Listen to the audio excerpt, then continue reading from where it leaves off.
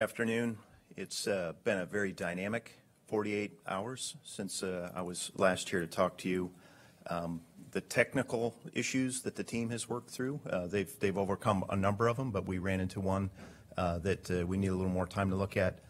But the spaceport, America's spaceport, has been very dynamic. We watched a launch control center, a new spacecraft, and a new rocket come to life. And we watched the media show up. We watched thousands of visitors show up in America watch this uh, this new activity. So it's been a very dynamic 48 hours. Um, since we had our launch minus two day mission management team meeting, the uh, operations team out of the Launch Control Center entered their launch countdown uh, Saturday morning. And then Saturday afternoon, we had a couple of lightning strikes out at the pad. We have a 32 story tall rocket out there, and there were uh, lightning strikes on towers one and two and our technical teams very quickly resolved that there were no issues with the vehicle uh, through timely analysis and timely data assessment. Saturday, uh, uh, Saturday afternoon, uh, we also uh, closed out an action from the launch minus two day mission management team, which was to uh, re-verify our communications coverage associated with some late changes that we had with the uh, rocket and the spacecraft, and uh, and the team got comfortable with the uh, communications coverage plan. And then uh, Sunday was largely a day of rest and a day of preparation for the team. And late Sunday evening, um, a subset of the team came in for the tanking meeting. Um, myself and our launch director Charlie Blackwell Thompson and our propulsive elements came in at 10:50 um, this evening or the prior evening and uh, we reassessed the uh, readiness to uh, load the vehicle with cryo, uh, cryogenic oxygen, cryogenic fuel, and uh, we were go for that.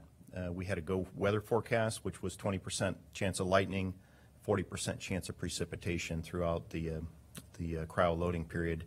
And um, right around that same time frame, the team encountered a an issue with the verification of the Orion flight software.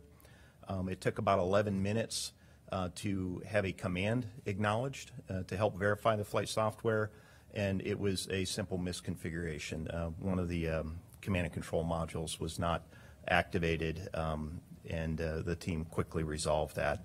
Um, and then once they configured it, uh, they quickly worked through the um, through the uh, software verification, and there were no concerns at that point with the Orion software verification. Uh, the tanking meeting itself was very clean. Uh, we were done in 30 minutes, and, and we gave the go for tanking. Uh, shortly thereafter, the, the, um, the uh, Kennedy Space Center went into a lightning alert, and the tanking was delayed for about an hour. And then once the cryo loading started, we started the, um, the loading of the hydrogen. The team quickly encountered a, um, a hydrogen leak at the 8-inch quick disconnect, which is our fill and drain. And um, and that happened when they went into the fast fill uh, phase. Uh, so they had to slow down the loading operation. They chilled down that interface, and, and they managed to work their way through the full cryo loading operation of both the uh, core stage as well as the upper stage successfully. Um, once we got through the uh, the uh, propellant loading on the rocket, both the uh, core stage and the upper stage, they started the engine bleed uh, we talked at our flight readiness review about the engine bleed. We knew that that was a risk headed into this launch campaign, and it would be the first time demonstrating that successfully. Uh, we did encounter an issue uh, uh chilling down engine number three. We need the engine to be at the uh, cryogenically cool temperature such that when it starts, it's not shocked with all the, the cold um, uh, the cold fuel that flows through it. So we needed a little extra time to, to assess that.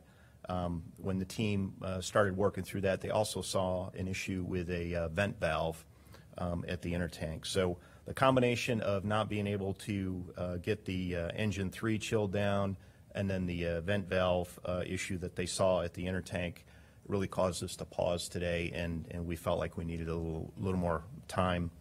Um, there was also a series of uh, weather issues throughout the window. We would have been no-go for weather at the beginning of the window due to precipitation, and uh, later on in the window we would have been no-go for lightning within the uh, within the launch pad area. So um, the team worked through a number of issues today, uh, the team was tired at the end of the day, and we just decided that it was the best to knock it off and uh, to reconvene tomorrow. So we've got a uh, mission management team meeting at uh, 3 p.m. Eastern. We're going to give the team time to rest, first of all, and then come back fresh tomorrow and reassess um, what we learned today, and then uh, develop uh, a series of options. It's too early to say what the options are.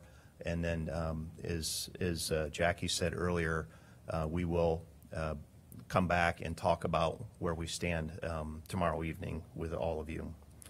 Um, Again, it's, it's an incredibly hard business that we have. In spite of, in spite of the challenges that we had, as well as some other um, constraints that the team had to work through and set up for. Uh, For example, we had 42 collision avoidance cutouts that we had to manage over the course of the, um, of the two-hour window. Most of those were only a couple of seconds long, but there were a few that were about a minute long.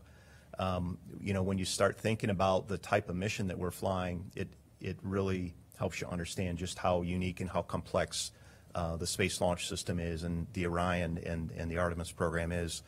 We, we have this upper stage, the interim cryo propulsion stage that lofts uh, the, um, the spacecraft to a 975 nautical mile insertion orbit uh, along with the, uh, the SLS core stage. And with that, we need, we need the performance from it, but we fly through part of the orbital debris field, the micrometeoroid and orbital debris field. And then uh, one orbit later, we commit to the point of translunar injection. So as we fly up through this orbital debris and then back down to low Earth orbit and then out through the point of translunar injection, we have to know where all these objects are, and that explains those 42 cutouts. And, and that is something that our operations teams were prepared to do today.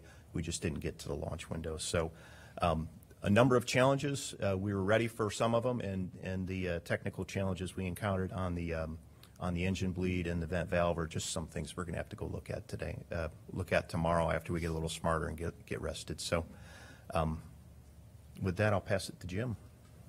Yeah, so good afternoon. So the administrator and Mike uh, covered covered a great deal of things. I'll just highlight a few things for me. You know, I sit in a different vantage point uh, than than Mike does. Uh, his is a lot more fun, by the way. Uh, but but we, you know, we're we're, we're in the uh, LCC, and, and I'm